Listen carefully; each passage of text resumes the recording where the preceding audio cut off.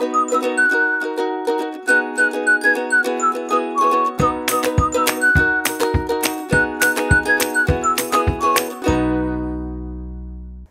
ihr Lieben, hier ist Olala und Solala und es ist der Käse im Prinzip zweiter Teil für alle, die den ersten nicht gesehen haben.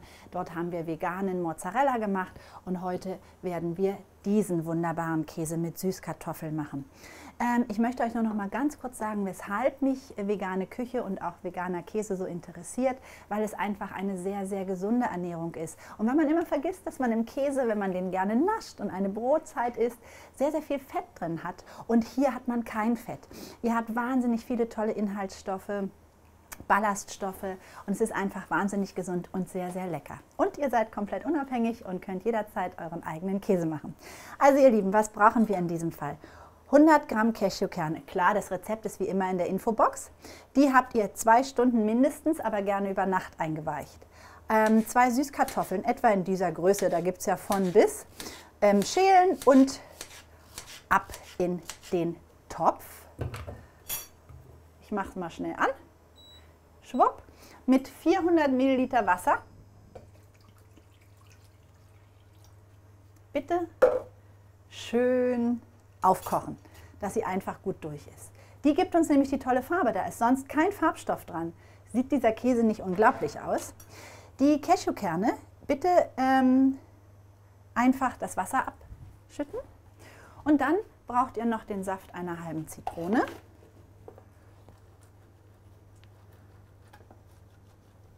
So, das haben wir auch erledigt. Soweit sind wir ganz gut vorbereitet. Ähm, den stellen wir uns kurz zur Seite. Jetzt müssen wir uns ans Agar-Agar wenden. Und äh, das ist bitte so, äh, falls jemand noch nicht damit gearbeitet hat, dass ihr das Agar-Agar erst einmal in kaltem Wasser anrührt. Also, wir nehmen zwei Esslöffel. Hm, warte mal, nicht, dass mir da zu viel reinplumpst. Jawohl, so, sehr gut. Ein Esslöffel.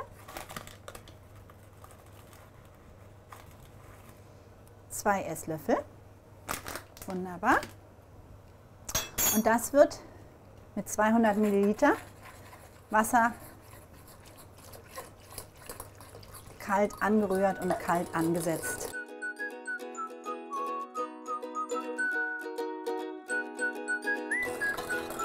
So, das Agar-Agar ist eingerührt. Die Süßkartoffel stechen wir kurz rein. Perfekt, ist 10 Minuten ganz gut geköchelt.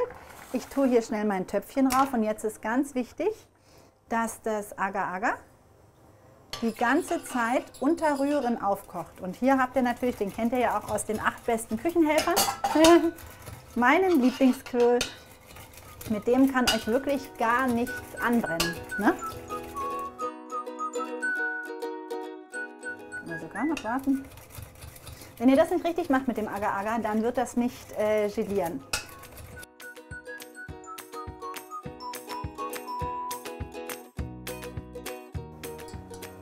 blub, blub.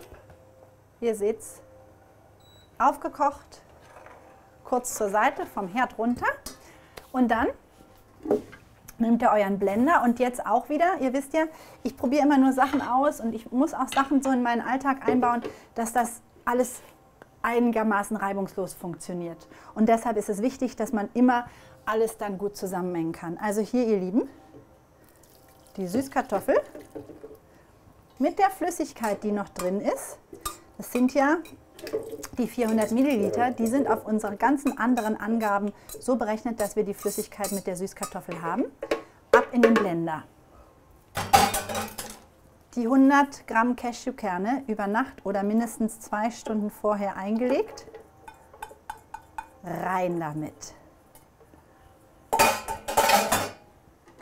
Unser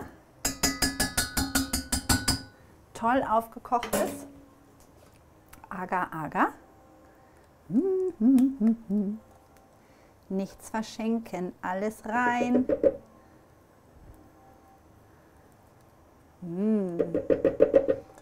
So, da lasse ich nichts übrig. Da fange ich an,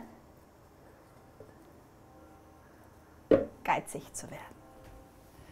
So, dann ihr Lieben, haben wir noch einmal zwei Esslöffel von unseren Hefeflocken. Die geben ein bisschen Geschmack. So.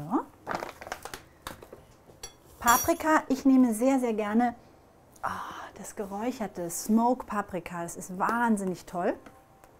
Davon gebe ich jetzt auch einen Teelöffel, also im Prinzip hier so einen halben Esslöffel, wenn mir das gelingt. Ja, so. Rein damit. Und ich gebe auch noch eine Prise von meinem Smoky Salz dazu.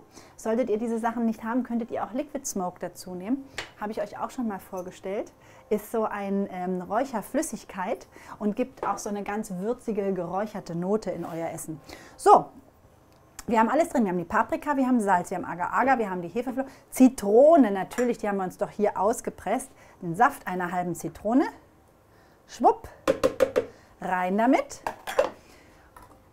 Deckel zu und ab in den Mixer. Yeah.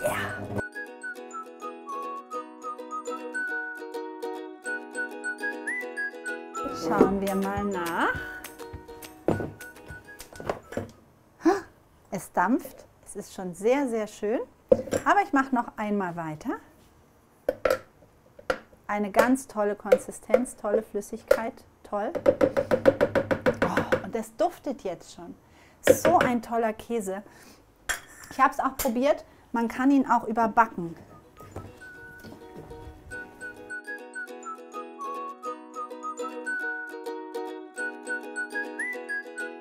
Juhu und fertig. So, ich mache das jetzt hier in diese kleinen Förmchen. Hier habe ich ein bisschen Lauch reingemacht, schwarzen Sesam oder Kümmel, damit ihr seht, so äh, sieht das dann aus, wenn ihr die Käse stürzt, nachdem sie im Kühlschrank waren. Und ein paar mache ich aber auch ganz neutral. Ihr müsst das natürlich nicht in so kleine Förmchen machen. Ich finde das nur ganz praktisch, auch wenn man dann immer nur einen auf den Tisch hat. Ihr könnt auch so größere Schüsseln nehmen und habt dann halt so einen großen Käse, aus dem ich natürlich schon eine kleine Ecke rausstibitzt habe. Und ähm, jetzt fülle ich den einfach ein. Mmh.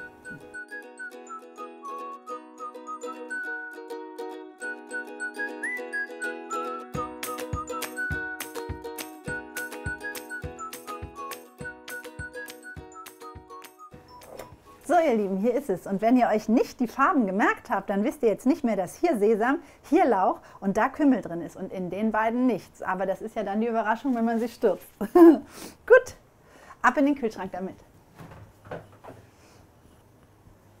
So ihr Lieben, so sieht er aus, wenn er dann gestürzt ist, in dieser Form. Und jetzt mache ich damit einfach noch einen kleinen Brotteller. Ich schneide jetzt einfach mal den mit dem Sesam an.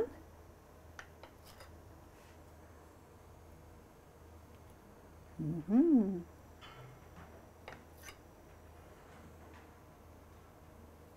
Eine richtige schöne Scheibe auf so einem Crisp. Der mit Lauch. So. Mhm. So. Ein bisschen Pfeffer. So ihr Lieben, der zweite Käse ist jetzt auch fertig. Der duftet schon ganz toll. Ich habe schon nur noch Lust reinzubeißen. Ich hoffe, dieses Video hat euch gefallen. Ihr seht ja auch, es ist gar nicht so kompliziert.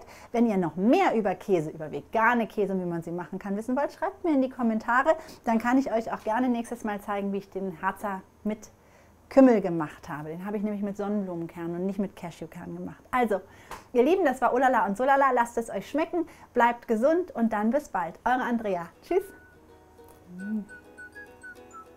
Mmh. Toll. Selbstgemachter Käse macht glücklich. Ich kann es euch nur raten. Also ihr Lieben, schaut doch mal in dieses Video oder auch in dieses. Tschüss.